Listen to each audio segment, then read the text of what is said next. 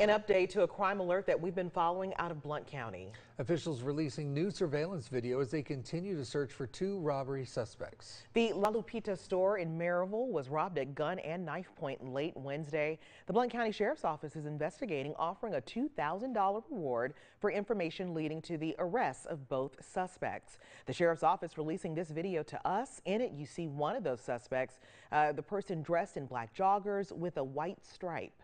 Now, the sheriff's office also updating the description of the car they believe the suspects used. They believe the two got away in a darker model Mazda.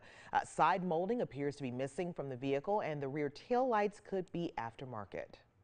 The sheriff's office believes both suspects are males, considered armed and dangerous. If you encounter these people, you should not approach them. Anyone with information that can help is asked to call Blount County Dispatch. That number is 865 983 3620. You can also just call 911.